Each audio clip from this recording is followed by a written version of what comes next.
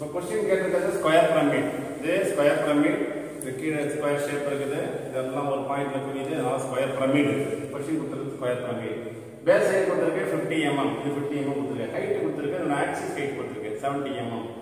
Axis height வந்து altitude height வேணாலும் கொடுப்பாங்க. ரெண்டு ஒன்று தான். ஆர்டிடியூட் ஹைட்னாலும் mm. அந்த ஆக்சிஸ் ஹைட் தான் seventy mm resting on HP ஹெச்பியில் உட்காந்துருக்கு ஹெச்பியில் உட்காந்துருக்குன்னா எப்படி உட்காந்துருக்கு அதோட பேஸ் இன்க்ளைன் தோ இப்படி உட்காந்துடல என்ன ஸ்ட்ரெயிட்டாக உட்காந்துடல இப்படி உட்காந்துடல ஹெச்பியில் இது ஹெச்பி இது விபி இதே மாதிரி உட்காந்துருல அதுக்கு பதில் எப்படி உட்காந்துருக்கு அப்படின்னா இப்படி கிராஸாக உட்காந்துருக்கு இந்த டைரக்ஷனில் கிராஸாக உட்காந்துருக்கு செக்ஷனில் இன்க்ளைன்டு விபி பேஸ் இன்க்ளைண்ட்னா செக்ஷனில் இந்த டைரக்ஷனில் போகணும் போதும் ஆங்கிள் அதனால முப்பது டிகிரி இன்க்ளைண்ட் அப்படி திருப்பிட்டு உட்காந்துருக்கு இப்படி திருப்பிட்டு உட்காந்துருக்குன்னா முன்னாடிலேருந்து பார்த்தா ஒரு முக்கோணம் தெரியும் மூணு கோடு தெரியும். ஏன்னா மூணு ஃபேஸ் காரணம் தெரியும். மேலே போடணும். மேலே இருந்து போ பார்க்கும்போது கீழே ஸ்கொயர் தெரியும். அந்த ஸ்கொயர் நான் போட்டிருக்கிறேன். இந்த ஸ்கொயர் எல்லாம் இந்த எல்லாம் சென்டரில் வந்து ஜாயிண்ட் ஆகும். இந்த ஃபேஸ் கார்னர்லாம் அதனால தான் டார்க்காக போட்டிருக்கேன் எல்லாத்தையுமே. இதை கார்னர் டு டார்க்காக போட்டிருக்கேன். ஏன் டார்க்காக போட்டிருக்கேன்? இது எல்லாமே வந்து ஜாயிண்ட் ஆகும் சென்டரில் மேலே இருந்து பார்க்கும்போது. அதனால டார்க்காக போட்டிருக்கேன். சென்டரில் ஓ. இதே மாதிரி ஏ பி சி டி எல்லாம் எண்டு போட்டாச்சு. ஏ பி சி டி வரைக்கும் போட்டாச்சு. நாலு கார்னர் இருக்குது சென்டர்ல ஓ இருக்கு. மேலே திருப்பும் போது திருப்பி போட்டு முப்பது டிகிரி வச்சுக்கிட்டு முப்பது டிகிரி வச்சுக்கிட்டு அதுக்கப்புறம் இந்த ஸ்கொயர் வரையணும். இந்த ஸ்கொயர் வரையும் போது கேர்ஃபுல்லாக வரைங்க. எப்படி ஸ்கொயர் வரையணும்னா ஃபர்ஸ்ட் எடுத்தோன்னே இந்த இங்கே எங்கேயாச்சும் மார்க் பண்ணிட்டு இங்கேருந்து ஃபிஃப்டி கொடுத்தா 50 வச்சுட்டு 59 இந்த லைனை போட்டுக்கிட்டு திருப்பி இதில் நைன்டி டிகிரியில் போடணும். இதை வச்சு 90 டிகிரி எடுக்கணும். எடுத்து அதில் ஃபிஃப்டி எடுக்கணும். அதனால இதில் நைன்டி டிகிரி வச்சு அதில் நைன்டி நைன்டி டிகிரி எடுத்து 50 வைக்கணும். அப்புறம் ஜாயின் பண்ணணும். அதே மாதிரி போடாம மாத்தி போட்டீங்கன்னா தப்பாக வந்துடும் அதனால் அதை கரெக்டாக போடுங்க போடும்போது. அந்த முத முதல் ப்ராப்ளம் அதே மாதிரி தான் ப்ராப்ளம் அதே தான் போடணும். போட்டுட்டு இப்போ நம்ம இதை முன்னாடிலேருந்து பார்க்குறோம். முன்னிலேருந்து பார்த்தோம்னா இதை எப்போதும் பிரமீடுக்கு கொடுத்தா மேலே முக்கோணம் போடணும். அதுதான் ட்ரையாங்கிள் பண்ணணும் ட்ரையாங்கிள் போட்டாச்சு. இப்போ இது பார்க்கும்போது இந்த எண்டு தெரியுது இந்த எண்டு தெரியுது இந்த ஃபேஸ் கார்னர் இந்த ஃபேஸ் கார்னர் ஃபேஸ் கார்னர் மூணு ஃபேஸ் கார்னர் தெரியுது. ஒன்று ரெண்டு மூணு ஃபேஸ் கார்னர் தெரியுது. நடுவில் உள்ள ஆக்சிஸ் அதை கணக்கு எடுத்துக்கூடாது. ஆக்சிஸ் அது. இப்போ இந்த ஃபேஸ் கார்னர் தெரியல. தெரியாத டாட்டரில் போட்டுருக்கேன் இங்கேருந்து டாட்டரில் போட்டாச்சு. இதுதான் பிரமி இப்படி உட்காந்துருக்கேன் இங்கேருந்து பார்த்தா என்ன தெரியுங்கிறது அப்படி போட்டாச்சு. இந்த ஓ வந்து ஓடாஷ் போட்டாச்சு. இந்த இடத்துல தெரியுது ஏ பி சி தெரியுது. அதனால ஏ பி சி போட்டுருக்கேன் டி தெரியல. இந்த டி எனக்கு தெரியல? அதனால டிஏ பிராக்கெட்ல போட்டுக்கிட்டேன். இப்போ நம்ம இங்க இருந்து பார்ப்போம். இந்த இடத்துல இருந்து பார்க்குற பண்ணிக்கலாம். பார்த்தீங்கன்னா நம்ம ஏ பி சி தெரியுது. டி தெரியல. பிராக்கெட்ல போட்டாச்சு. இப்போ தேர்ட்டி டிகிரி ஆங்கிள் போட்டு கரெக்டாக போட்டாச்சு. இப்போ இதுல என்னன்னா இதே கட்டிங் பிளேன் போட போறோம். இதே கட்டிங் பிளேன் போட போறோம். கட்டிங் பிளேன் ஆங்கிள் எவ்வளவு கொடுத்துருக்குன்னா 40 டிகிரி டு ஹெச்பி கொடுத்துருக்கு. 40 டிகிரி டு ஹெச்பி அந்த பர்பெண்டிகுலர் டு விபி இது எதுல வெட்டுது அப்படின்னா இந்த ஆக்சிஸ் இருக்குல்ல ஆக்சிஸ் எங்கே இருந்தாலும் கொடுப்பாங்க. இது மேல உள்ள அபாக்ஸ் அபாக்ஸ்ல இருந்து 20 30 வேணாலும் கொடுப்பாங்க. பாட்டம்ல இருந்து 20 30 வேணாலும் கொடுப்பாங்க. இப்போ இத கொடுத்துட்டு பைசெக்டர் கொடுத்துருக்கு. பைசெக்டர் ரெண்டுத்துக்கும் பாதி. மிடில் இந்த டோட்டல் டிஸ்டன்ஸ் எவ்வளவு இருக்கோ அது மிடில் டோட்டல் டிஸ்டன்ஸ் எவ்வளவுனா 70 கொடுத்துருக்கு நமக்கு. டோட்டல் டிஸ்டன்ஸ் 70 இந்த 70 மிடில் ஸோ அது டிஸ்டன்ஸ் கொடுத்துருக்கு பைசெக்ட் கொடுத்துருக்கு பைசெக்ட் கொடுத்தா முப்பத்தஞ்சு எம்எம் அதனால இந்த முப்பத்தஞ்சு எம்எம் இது. தேர்ட்டி ஃபைவ் அதில் இங்கேருந்து இங்கே முப்பத்தஞ்சில் ஒரு புள்ளி விட்டுக்கணும் புள்ளி விட்டுட்டு இப்போ தான் அந்த ஹரிசாமல் லைன் போட்டுக்கணும். போட்டுட்டு இந்த ப்ரொட்ராக்டர் வச்சுக்கணும். ப்ரொட்ராக்டர் வச்சுக்கிட்டு எவ்வளோ ஆங்கிள் கொடுத்தோம் அந்த ஆங்கிள் எடுத்து போட்டுக்கணும். 40 டிகிரி ஆங்கிள் கொடுத்துருக்கு அதனால் ஃபார்ட்டி டிகிரி மார்க் பண்ணிட்டேன். 40 டிகிரி மார்க் பண்ணிட்டு இந்த 40 டிகிரி லைன் நேராக க்ராஸாக வரையணும். இது வரையணும். இது 40 டிகிரி 40 டிகிரி அது மாதிரி டபுள் டேஷ் போட சொல்லியிருக்கேன் டிகிரி மார்க் பண்ணி சொல்லியிருக்கேன். அது எப்போதும் போல மார்க் பண்ணிட்டுங்க டபுள் டேஷ் போட்டு எயிட்டி அப்படின்னு. இந்த forty degree forty degree note பண்ணிக்கலாம். இந்த ஃபார்ட்டி டிகிரி நீங்கள் நோட் பண்ணிக்கலாம். இல்லை இருந்தாலும் விட்டுடலாம். இப்போ இன்லைன் ஆங்கிள் போட்டாச்சு. இப்போ நம்ம என்ன பண்ணணும்னா இந்த ஓட்டு ஏ அந்த ஓட்டு ஏ இந்த ஓட்டு ஏ இந்த இந்த நம்பர் போட்டு ஒன்று போட்டிருக்கேன் அந்த ஒன்று எடுத்து இங்கே மார்க் பண்ணிக்கணும் ஒன்று அந்த லைனில் இருக்கு ஒன்று அது இந்த ரெண்டு ரெண்டுங்கிறது இதுல இருக்கு. ரெண்டு. அதனால டேஷ் டேஷ் போட்டுக்கோங்க. அது. அது மூணு. இதற்கு மூணுங்கிறது இந்த இதுல இருக்கு. இங்க இருக்கு மூணு. இது டேஷ் போட்டுக்கணும் நாலு. நாலுங்கிறது இந்த ஜென்ரேட்டரில் இருக்கு. அதனால நாலு. ட்ராக்கரில் போட்டுக்கணும் நாலு பாயிண்ட் நாலு ஜென்ரேட்டர் நாலு காரணம் ஒன்று ரெண்டு மூணு நாலு. நம்ம அதில் நேர் நேராக போட்டுருந்தோம். இது பிரமிடுங்கிறதுனால அந்தந்த எண்டில் போட்டுக்கணும். இந்த எண்டில் போட்டுக்கணும். இந்த ஒன்றுங்கிறது இந்த ஏழு இருக்கு.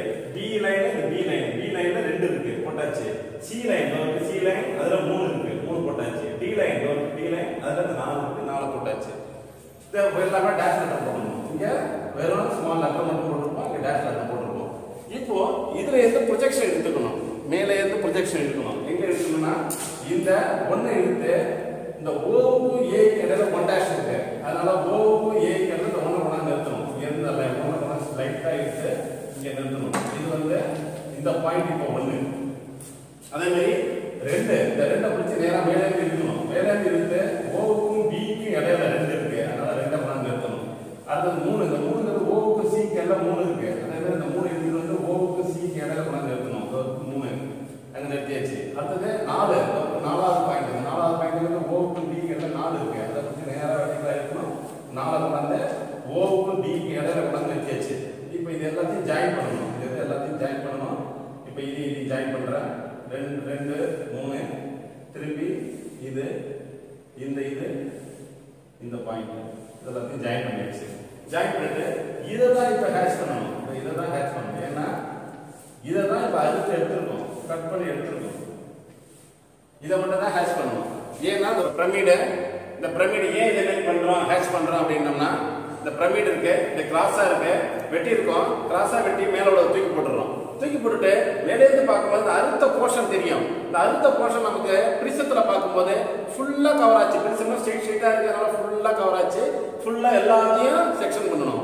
இதில் என்னென்னா இந்த இந்த போர்ஷனை கட் கட் பண்ணி எடுத்துட்டோம்னா பாக்கி பாட்டம் போர்ஷன் பெருசு இதோ அடியில் உள்ள அப்படியே தான் இருக்கும். அதில் பிளேடுலாம் படல உங்களுக்கு. மேலே தான் பட்டிருக்கு. மேலே உள்ள இந்த நாலு கார்னர் தான் பட்டிருக்கு. இந்த நாலு காரணம் இது வரைக்கும் அறுத்து எடுத்தாச்சு. அதனால தான் இதே மாதிரி காமிக்குது. இந்த போர்ஷன் அறுத்து எடுத்துருவோம். அதனால தான் மேலே இருந்து பார்க்கும்போது இந்த போர்ஷன் மட்டும் தெரியுது. இதோட கட்டிங் பிளேன் இதோ பாஸ் ஆகுது. இதான் கட்டிங் பிளேன் பாஸ் ஆகுது. இதுதான் நீ டார்க்காக போர்ஷன் நம்ம. இந்த இந்த போர்ஷன் மட்டும் டார்க்காக பண்ணணும் இந்த போர்ஷன் மட்டும் டார்க் பண்ணி காமிக்கணும் இதனால இந்த மட்டும் டார்க் பண்ணிக்க. இதை மட்டும் டார்க் பண்ணி இந்த இது இந்த இது டார்க் பண்ணி காமிக்கணும் இந்த போர்ஷன் மட்டும் டார்க்காக காமிக்கணும் இது மட்டும் கட் பண்ணிக்கணும்.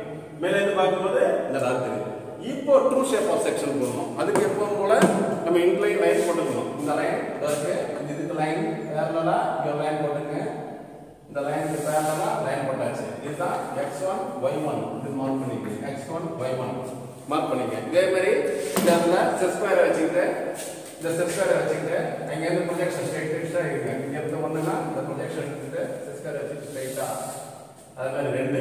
ரெண்டு செட் ஸ்கொயர் வச்சுக்கிட்டு இருக்கணும். அது இந்த செட் ஸ்கொயர் வச்சுட்டு ரெண்டு. அது மாதிரி மூணு நாலு. எல்லாத்துக்கும் இருக்கணும் மூணு எடுக்கணும். அடுத்தது நாலு இருக்கணும் எல்லாத்தையும் எடுத்தாச்சு. எல்லாமே டூ எக்ஸ் இருக்கணும் எடுத்தாச்சு. அதுக்கடுத்து என்ன பண்ணணும்னா இந்த காம்பஸ் எடுத்துக்கிட்டு நம்ம முதல் வெட்டின மாதிரி வெட்டணும். இதுக்கு அதுக்கு என்ன டிஃபரன்ஸு இதுக்கு அதுக்கு என்ன டிஃபரன்ஸ்னா முத உள்ளது நேராக அளவு. இங்கேருந்து இருந்து எடுத்தோம். இந்த ஒன்று இது என்னன்னா அதே மாதிரி இருக்கக்கூடாது. இந்த உள்ளார கட் பண்ணிருக்குல்ல அதுதான் எழுதணும். உள்ளார கட் பண்ணிருக்க கேர்ஃபுல்லாக எடுத்து பார்த்துக்கங்க இந்த உள்ளார கட் பண்ணிருக்கல அந்த அளவு எழுதணும். எங்கேருந்து எடுக்கணும்னா இந்த டிஸ்டன்ஸ் இந்த ஒன்று இருக்குல்ல ஒன்று நேராக பாஸ் ஆகி கீழே இந்த போகுது இல்லையா? இதுலேருந்து எடுக்கணும். இங்கேருந்து அளவு எடுத்து இங்க எடுக்கணும். அதான் இங்க கேர்ஃபுல்லா கவனிக்கணும். இதோ இருக்கு அங்கேருந்து இந்த அளவு எடுக்கணும். இந்த அளவு எடுக்கணும்.